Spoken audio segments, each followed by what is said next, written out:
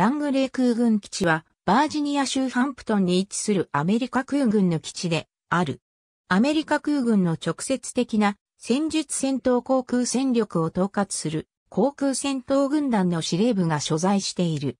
2010年に近隣のアメリカ陸軍、フォートユースティスと併合され、ラングレーユースティス統合基地の一部となった。1916年12月、アメリカ陸軍航空部飛行場として開設。アメリカ合衆国空軍が創設された1947年に移管され、現在に至る。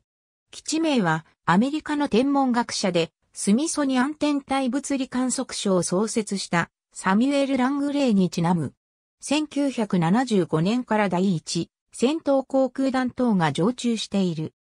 第一戦闘航空団はアメリカ空軍で初めて海 -22 が実戦配備された部隊としても知られ、2006年には、ウ人として、対テロ戦争におけるアメリカ合衆国防衛作戦、北垣は試作戦に参加しているが、沖縄県の嘉手納基地に暫定的に配備された。